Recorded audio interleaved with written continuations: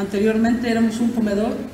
hoy somos un albergue porque ellos necesitan descansar, necesitan sentirse en familia y eso es lo que nosotros les hemos ofrecido. La vocera de las patronas, Norma Romero Vázquez, recibió la presea Corazón de León que otorga la Universidad de Guadalajara por su labor como activista dentro de este movimiento que ella misma inició hace 23 años. Dentro del marco de actividades por el 26 aniversario de la Federación de Estudiantes Universitarios, se entregó esta presea a las patronas, un grupo de mujeres que ayuda con víveres a los migrantes que viajan en el tren conocido como La Bestia en su camino hacia Estados Unidos.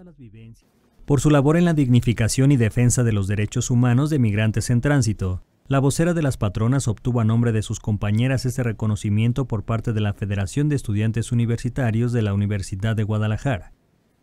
Estas mujeres trabajan en la comunidad La Patrona del municipio Amatlán de los Reyes, Veracruz, y entre otros esfuerzos asistenciales, ayudan con víveres a los migrantes que viajan en la bestia.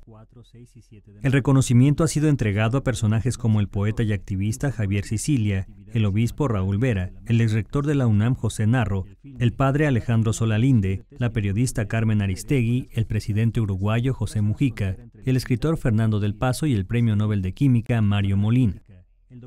Las patronas también han sido reconocidas con el Premio Nacional de Derechos Humanos 2013, el Premio Sergio Méndez Arceo 2013 y en 2015 fueron nominadas al Premio Princesa de Asturias de la Concordia. Notimex.